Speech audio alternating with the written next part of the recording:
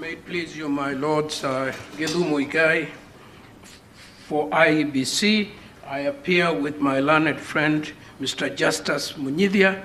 I will deal with a few points, and my learned friend will conclude. At a very personal level, let me say this, my lords. I have been in these corridors for over three decades. I have never seen a case like this. We don't seem to agree on anything. Not what the facts were, not what the law is, not what the concepts are, not what the words mean. We can't agree on who the people are. We can't agree on basic structure. We can't agree on public participation. And I have never been in a case where so many professors have been cited. That makes the point we started with two days ago. This is a case about theory. This is a case about theory. If this was a case about live disputes between live people with live grievances, we would have had very different presentations. Let me ask a couple of questions and, and then sit down. Is there a constitution outside the constitution itself? I understand this judgment to be saying so. That there is another constitution outside the constitution. So that if you want to know how to amend the constitution of Kenya, you should look at the constitution itself, then go and look somewhere else. We don't seem to be clear where that somewhere else is. I submit that there is no constitution outside the constitution, and there is no constitutional legitimacy outside the constitution. Legitimacy is not in politics, it's not in society, it is not in it is juridical. Two, is the spirit of the constitution superior to the, to the constitution itself? In my very humble view, my lord, if you ever want to know a weak lawyer, is a lawyer who begins by saying, the spirit of the Constitution requires. Why would we go to look at the spirit when the Constitution is speaking for itself? Dr. Const uh, Professor, yes, the spirit of the Constitution is one thing that people haven't talked about during these proceedings.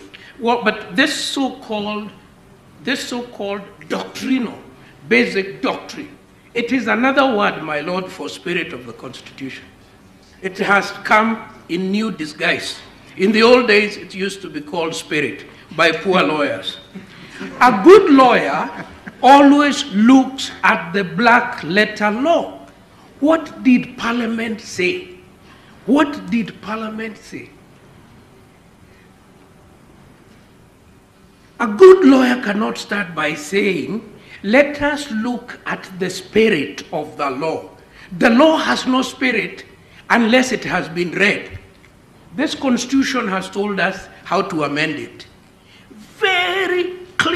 Precise terms. Question number three Is the amending, amending power provided in the Constitution to be supplemented by reference to theory? It is our submission no. The Constitution speaks on its face. Two, uh, four, is the sovereign power of the people to ratify radical changes, which is secured by the referendum here. Is it less valuable than the so-called power to call a constitutional convention? Tell me this, ladies, uh, my, my lords, tell me this.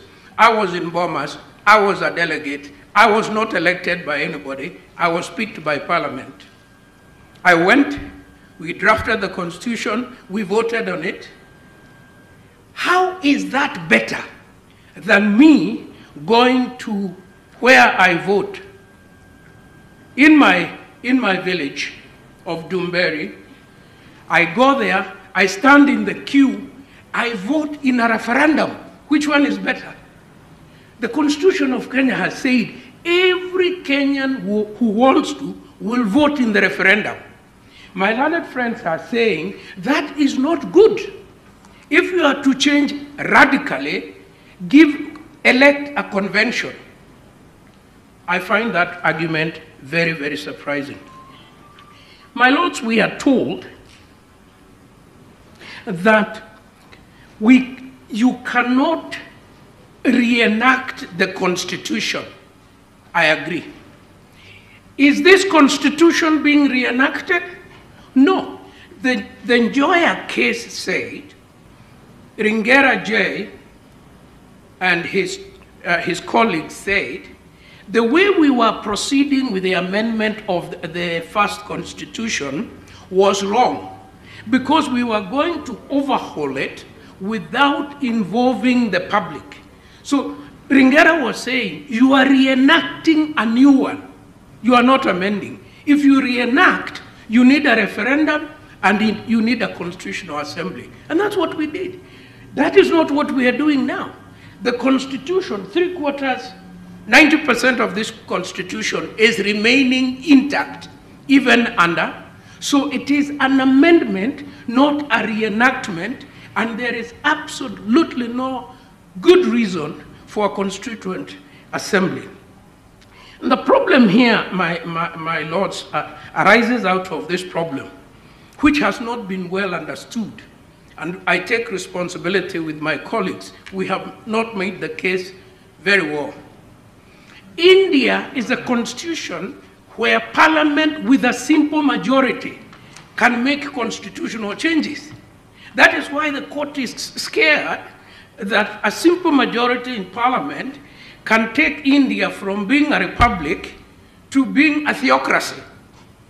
That in Kenya cannot happen because in Kenya we have entrenched what my colleagues are calling the, the basic, doc, doc, uh, basic structure. The basic structure is protected, super protected. That's why you can't change the boundaries of Kenya. You can't change the name of Kenya. You can't change the national anthem. You can't change the independence of the judiciary. Those are super protected.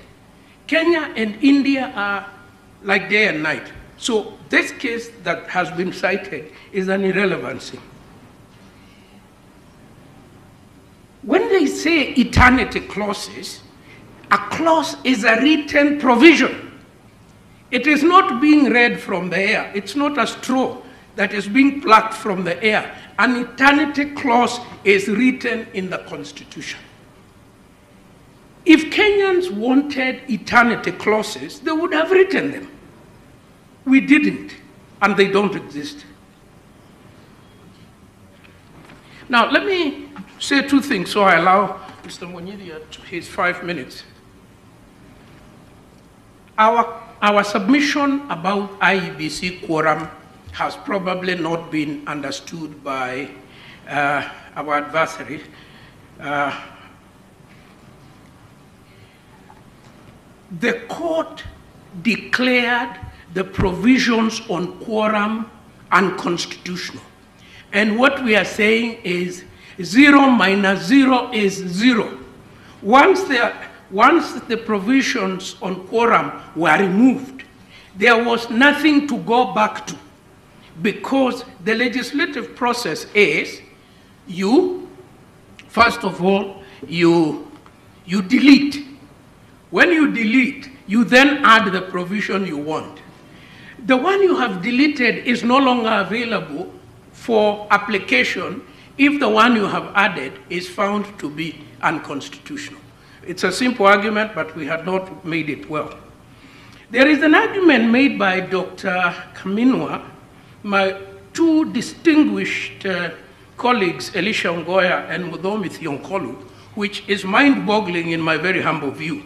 They say, if there are no regulations, if there are no regulations, Article 257 is dead and we therefore cannot say we have a framework. Now, this is exactly where Dugdale J took us in 1986. He had said we, you could not enforce human rights in Kenya because the rules for the enforcement of human rights had never been promulgated by the Chief Justice.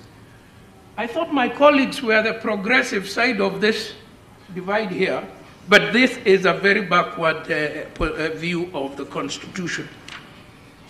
Titus Alila versus the AG in Kisumu put it very, very well. It is not the function of the judiciary to determine in general terms whether or not the said statutes were inadequate or inelegant. That was uh, Ochieng and we, we urge, my lords, uh, to adapt that, uh, that, that reasoning because, in our very humble view, it is the correct reasoning. Thank you very much.